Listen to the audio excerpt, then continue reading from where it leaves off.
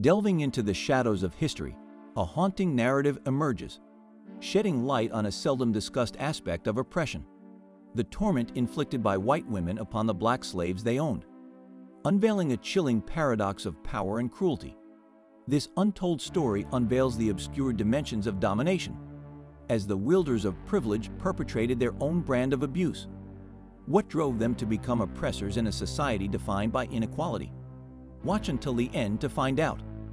In a faraway time filled with stories from the past, where the memories of people who were hurt long ago can still be heard, there is a tale that's like a picture made of strong threads. These threads show things like power, when one group has control over another, and bad things that happen to black men who were treated very badly by white women. Let's start our journey by looking at the sad life of Marie LaLaurie. She seemed like a fancy lady who was part of high society, but she had a secret, scary side. This side of her didn't have any limits when it came to hurting and even killing black male slaves. Mary was born on March 19, 1787, in New Orleans. Her family had a lot of money and privilege. Her dad, Louis Barthélemy de McCarty, had a special title that showed he was important. He was known as a Chevalier of the Royal and Military Order of St. Louis. The McCarty family had been wealthy and important for a long time. They had a big piece of land between Bartholomew and Independence, right next to where Count Pierre Philip, another rich person, lived. Back then, lots of places in the southern parts of the United States had slavery. This means some people owned other people and made them do hard work without paying them. Unfortunately, Marie's family also had enslaved people. This is really sad, and it shows how society and money worked in those days. During the time before the Civil War in the southern United States, a practice called slavery was deeply ingrained. This means that it was tightly woven into how society worked back then. Slavery was supported by laws and even the government at that time. This practice involved people being owned by other people. These people who were owned, also called slaves, were treated like belongings that could be passed down from parents to their children, just like how families pass down things like money or heirlooms. Families who owned slaves, like the McCartys, believed that having slaves was really important for keeping their money and status secure. The slaves had to do very hard work on plantations, big farms, and inside people's houses. But this idea of one person owning another person, and the terrible unkindness that came with it, shows us how some people can be very greedy and misuse their power.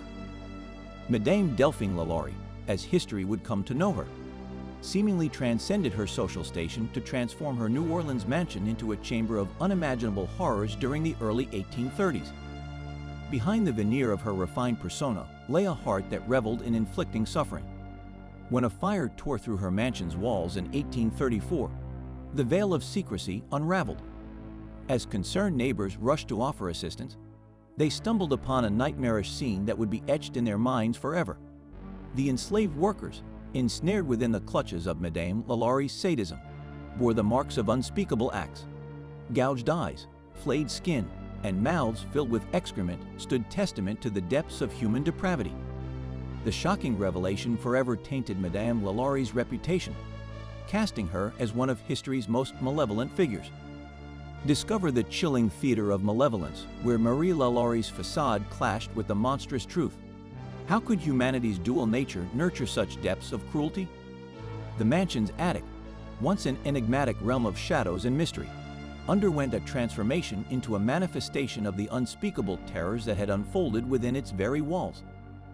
The narratives encircling the estate coalesced into a chilling truth. It had served as a theater of malevolence, where more than a hundred souls had endured the atrocities born from the sadistic desires of its inhabitant. This stark dichotomy between Marie LaLaurie's outward persona and the monstrous reality concealed within her abode offers a profound glimpse into the dualistic aspects inherent in human nature. Her uncanny ability to present a veneer of normalcy while orchestrating unfathomable anguish upon those enslaved under her control illuminates the intricate layers of malevolence. The Chronicle of Marie LaLaurie not only exposes the horrors perpetrated by white women, but also unearths a concealed facet of history the covert liaisons between affluent white women and black men held in bondage, Although these instances were fewer in number than the pervasive sexual exploitation of black women by white men, they were not non-existent.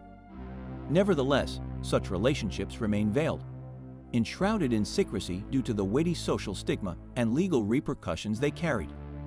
This obscure dimension of history serves as a reminder that the power dynamics of the past were intricate and multifaceted, riddled with narratives that challenge conventional understandings.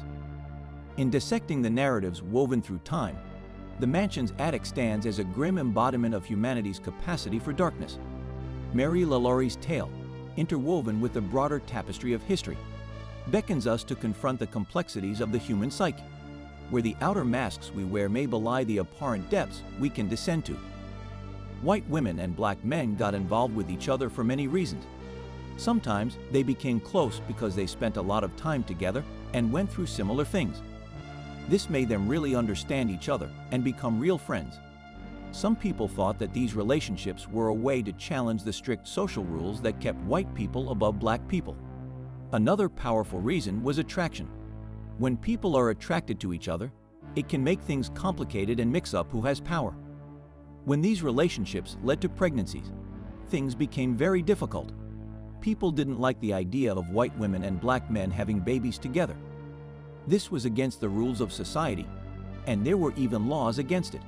So, they did everything they could to hide the proof that these relationships existed.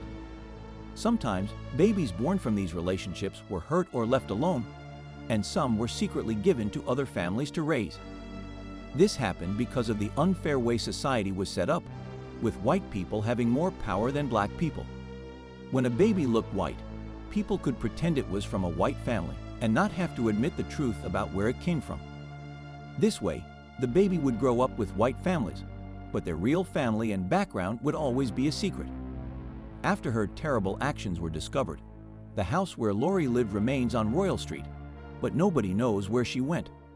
Once things calmed down, both she and her driver vanished, with people thinking they escaped to Paris. But strangely, there's no proof that she actually reached Paris. Her daughter said she got letters from her, but no one else saw these letters. In the late 1930s, a worn and cracked copper plate was discovered in New Orleans' St. Louis Cemetery. This plate had the name LaLaurie, Madame Delphine McCarty, which was Madame LaLaurie's original name. The writing on this plate was in French and said that Madame LaLaurie passed away in Paris on December 7, 1842. As we close the chapter on these harrowing tales, we are reminded of the importance of confronting our history's darkest moments. The stories of Marie LaLaurie and the clandestine liaisons between white women and black men offer a glimpse into the sinister underbelly of societies built on unequal power dynamics. By acknowledging these stories, learning from them, and striving for a more just and equal future, we honor the memories of those who endured unspeakable suffering.